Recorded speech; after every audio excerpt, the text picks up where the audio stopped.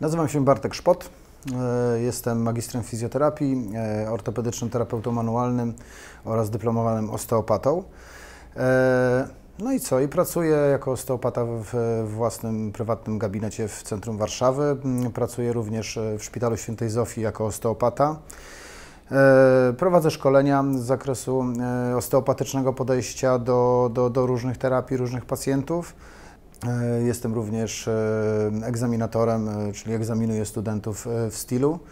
No i zdarza mi się też oczywiście asystować. Osteopatia jest dla mnie niezwykłym źródłem wiedzy o człowieku. W dosyć taki szczególny sposób w obszarze filozofii osteopatycznej.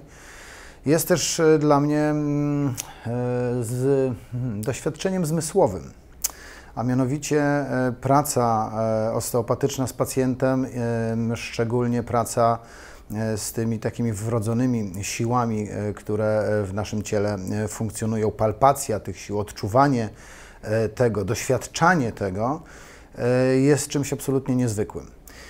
E, No i co wreszcie osteopatia na pewno jest też dla mnie hmm, źródłem rozwoju osobistego. E, Odkąd jestem osteopatą, myślę też, że zmieniam się jako człowiek. E, e, no i tak, a poza tym jeszcze co mogę powiedzieć? Na pewno mogę powiedzieć jeszcze to, że jest dla mnie absolutnie źródłem e, takiego wiecznego uczenia się, tak? co jest dla mnie dosyć istotne i mm, ponieważ mówi mi, że właściwie do końca życia ta osteopatia będzie mnie fascynowała i, i ciekawiła, bo już wiem, że na pewno do końca się jej nie nauczę i, i będę mógł do końca życia się uczyć, co, co, jest, jest moim zdaniem bardzo cenne.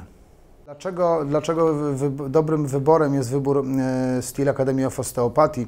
Myślę, że tak samo dla studentów, jak i dla mnie, bo, bo ja też musiałem to wybrać, jak mi, kto, jak mi to za, zostało zaproponowane, musiałem się zastanowić, dlaczego akurat tam e, chciałbym być asystentem czy nauczycielem. Powiem może banalnie. Mm, Nazwiska zgromadzone w tej szkole są, e, są to największe nazwiska osteopatii światowej. E, Asystować e, takim osteopatom to jest niezwykła przyjemność, a z perspektywy studenta, no chyba jest to najlepsze źródło czerpania wiedzy.